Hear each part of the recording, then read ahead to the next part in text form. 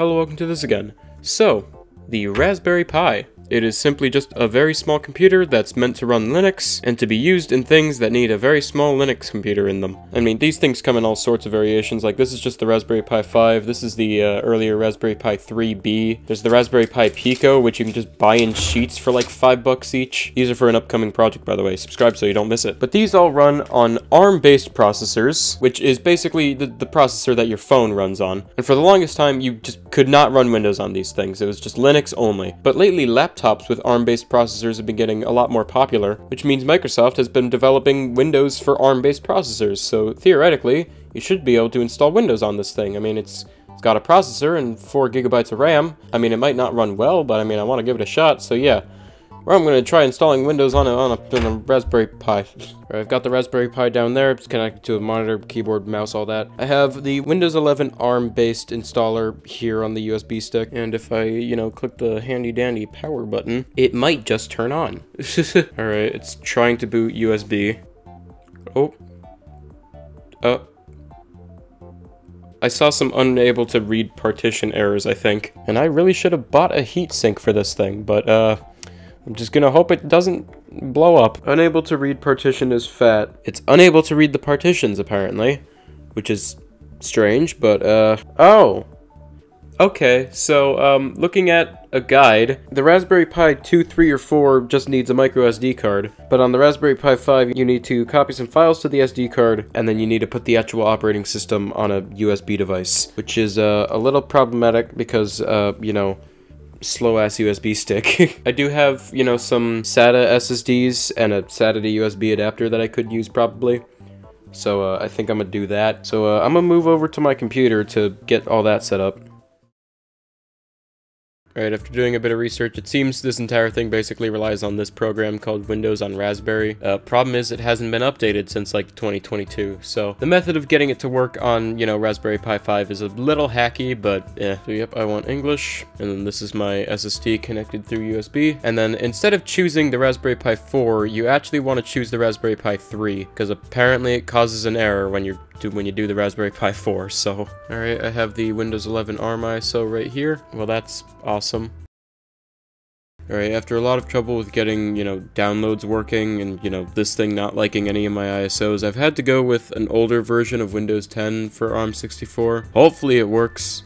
We'll, we'll see. Uh, sure. All right, and then I just click install. All right, and it seems we're, we're going. So I think I can just move this off to the side and, you know, move on to the next step, which is installing the firmware onto an SD card. All right, so apparently I just download this from the GitHub, and then I can just do that, and that's that step finished, and, you know, this isn't done yet, so. Okay, so it's installing drivers, and something I probably should have done, I don't know if it's possible or not, but getting this thing on internet is really annoying. You're supposed to, like, use Android to tether your Wi-Fi connection, but my phone uh, really doesn't like to do that, and I have this, you know, USB Wi-Fi adapter that would make things a whole lot more convenient.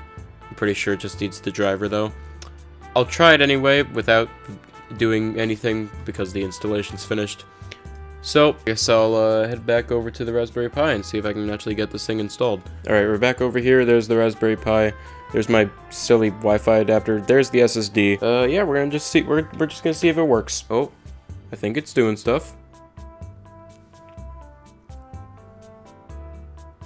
Yeah! Alright, nice. We're actually booting, finally. Oh, it restarted. Oh, alright. So we're now in the proper Windows 10 setup, and my mouse is uh, not working. Hey, we have a mouse now. Yep, United States. Will it be able to connect to the internet? Probably not. Judging by the fact that there's there's nothing here, I don't I don't think it's gonna. Yeah, I don't have internet. Uh, limited setup, please. Let me just do it offline. No, I'm good. Hello. Okay, you do you, Microsoft. Nice. Hey, alright, yeah, it's, it's, it just kind of works. I'm in test mode, which makes sense, but yeah, it just works. Alright, now I just gotta figure out how in the world am I gonna get, you know, internet working on this thing. I'll be right back once I have a solution for internet. Alright, so the Wi-Fi adapter didn't work, but surprisingly the uh, USB tether through my phone did. So we are now online, and we now have, you know, Firefox. So yeah, we have Firefox. But I want to know, you know, how well can this thing actually work as a Windows 10 PC? Also known as I'm just gonna play a bunch of games on it. And uh, already I can tell, uh, that might not go so well. Give me Steam.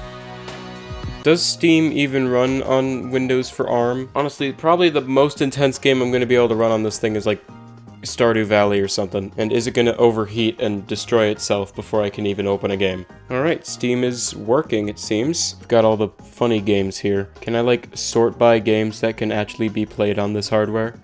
Does Geometry Dash work? No.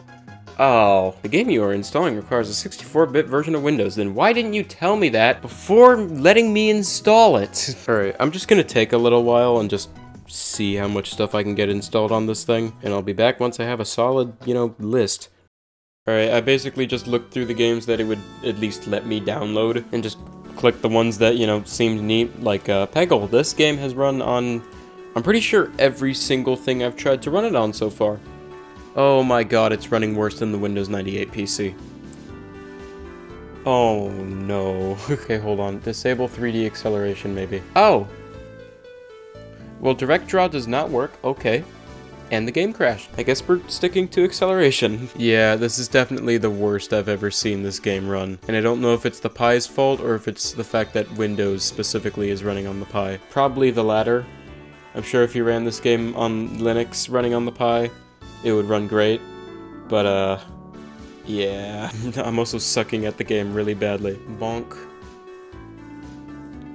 Insert Ode to Joy here, but also, uh, yeah, um, we're running at like 3 FPS. okay, uh, I don't know, Undertale? We can't do any better than Peggle. So, I mean, uh, I mean, right now this looks like it's running fine-ish.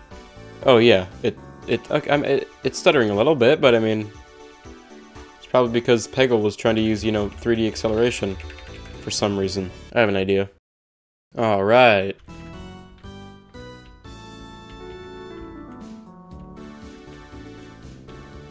Oh, hell yeah. I mean, it's definitely not running, like, you know, consistent 60 FPS. You can, you can see that it's just kind of slowing down sometimes, but I mean, I guess it's playable.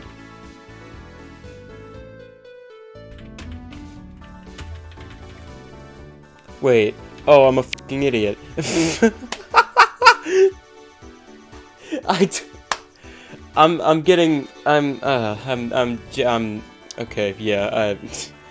I've got no excuse for that one. I was just on autopilot, and for some reason I thought spare was the correct option. Anyways, A Dance of Fire and Ice uh, is a rhythm game, and I have no audio.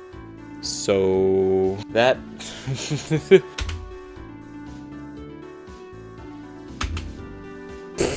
Mission in Snowdrift Land's kind of a neat game. Never mind. Stardew Valley is a neat game. Oh. Well, um, yeah, moral of the story, um, if you need a Windows PC for about a hundred dollars, please, for the love of God, don't buy a Raspberry Pi 5.